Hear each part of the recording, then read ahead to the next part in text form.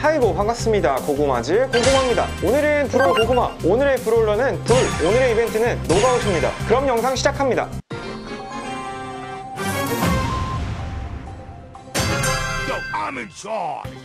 게임 시작합니다 상대 니타가 접근을 해다가. 다시 멀어지고 있는 모습입니다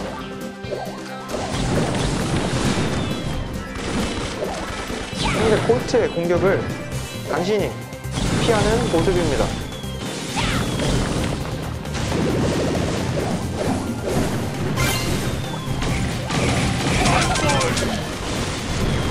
상대팀 니타를 처치합니다.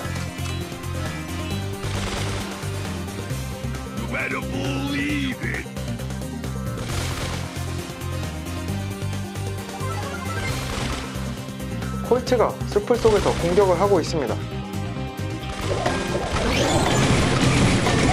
콜트를 처치합니다.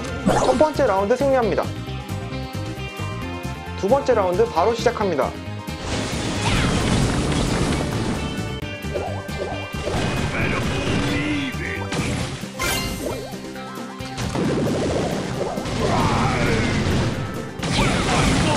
상대팀 미타 처치합니다. 상대팀 미타 공격하지 못하고